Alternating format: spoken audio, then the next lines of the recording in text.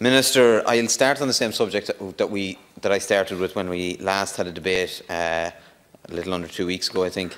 At that stage, I told you that I felt it wasn't good enough that schools had had no communication on reopening of schools from March the 12th until that date. Now, since then, well, there's been a lot of discussion on this. In some respects, we're not much wiser. Confusion reigned last Thursday and Friday. Uh, we told Sarah McInerney at 10 that blended learning would be a reality. Then went on to prime time and told us that you wouldn't accept a half return to school. Uh, and then the Taoiseach the following day seemed to revert to the previous position, telling us that not all students would return, at least at the same time. And now you're saying that you're going for the maximum return of students. So, while obviously it's welcome that we know that it's still the plan to return to school on the normal date, neither parents nor teachers know exactly what that means. The reality is that we have the most overcrowded classrooms in Europe anyway, already, 28 children to a teacher, and that will make our return to school buildings uh, far harder than in most states.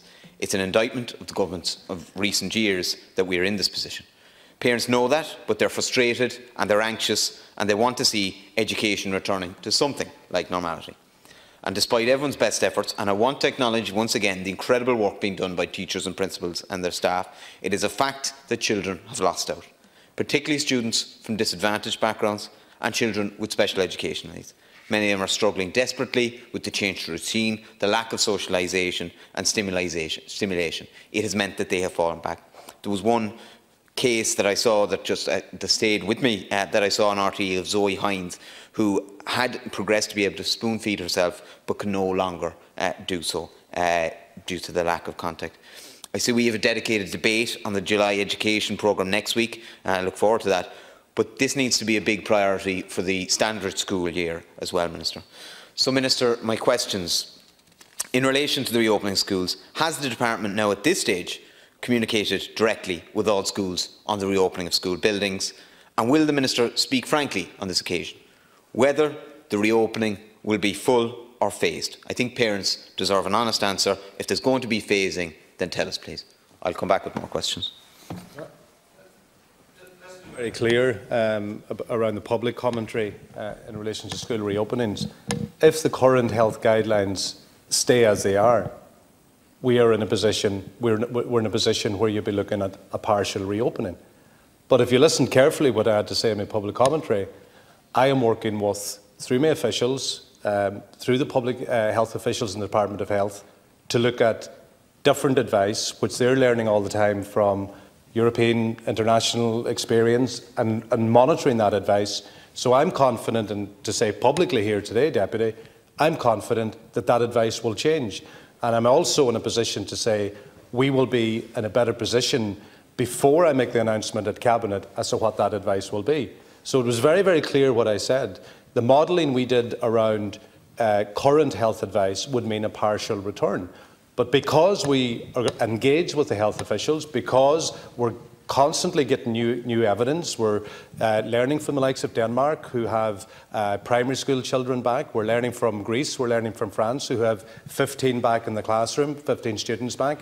I'm learning from the likes of England, Gavin Williamson, who I was speaking to uh, two weeks ago. Learning from the likes of Minister Weir in Northern Ireland, who I spoke to yesterday. So we're going to learn from those experiences and just to reassure people that it's our intention in the Department of Education to maximise the return of students back in the end of August and September. There's no uh, ambiguity around that. That is our intention, but obviously we're going to be guided completely by the health advice. But at the same time, the health advice was very, very clear when Dr. Tony Holohan uh, briefed us recently. He said it's their job to give advice and guidance. It's not their job to do, uh, to, to, do a risk assessment. And obviously, that is the job we're doing now. And the time frame, and I know you, you said schools haven't been notified. The reason why schools haven't been notified yet is because we're waiting on this advice. I'll bring a memo to Cabinet next week, and after next week, at, at, that time, I'll publish the advice, and that, that's when the principals and uh, leadership in the schools will find out. It's all very well, but like I mean, some communication should have been possible at least since the 12th of March. Schools deserve some kind of communication, some kind of indication. I think that they should have got that, and they still haven't got that, so far as I'm aware. Staying with the reopening is. That's not true. There's, there's, there's any school I've spoken to, any school I've spoken to, has not had direct contact from the department on reopening. They may have in the last four or five days, but up till then, they hadn't received any contact. I'm telling you that as a fact with any school I've spoken to, and I've spoken to about 20. Uh, staying with the But, reopening. but can I just, uh, I'd to ask a question back? Like, if, if we don't have the advice, if we don't have the guidelines, if we don't have the instruction, I'm not going to, I'm not going to go back to principals with a half story. Next week, we I will think- have the full know, I- I guidance on think- the publication. Sorry, no, Minister, and I, I think it is quite reasonable that you go back to schools and you say, look, this is the process, this is what we are, this is where we're waiting for, this is the criteria. There is things that you can, there is messages Yes, and, and there is- preparations that could Yeah, have there and there is. No, it's, it's wrong to say there's no communication between schools. The, the, the school, the schools, and the school representative bodies are in constant engagement. That is not true. There is engagement. What is what I'm saying here very clearly, in terms of what the September, uh, the end of August, September will look like, we're not in a position until next Friday. Ligden Yeah, I, I'm going to I'm gonna have to truncate the rest of my contribution. Unfortunately, I was going to come in on a few issues. Um, first of all, calculated grades, Minister. PQs that I'm getting back today, that I got back today, tell me quite clearly two things. If you can't get a calculated grade, there is no other option. If it, there's not going to be a written leaving cert before third level admissions.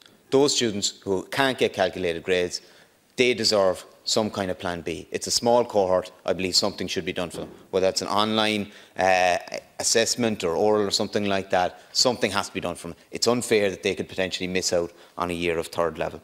Uh, Minister, I've written to you asking for the exact statistical model for the school profiling. If you can respond to that, please. There's also, Minister, about 800 schools listed as requiring additional accommodation. Um, many of them are or were going through planning uh, before that was slowed down by COVID. One of them is a new school in my own constituency, Southly Educate Together. Uh, it's in its second year. Uh, they may not get planning in time to deliver the accommodation that they need. Can you ask local authorities to prioritise these applications?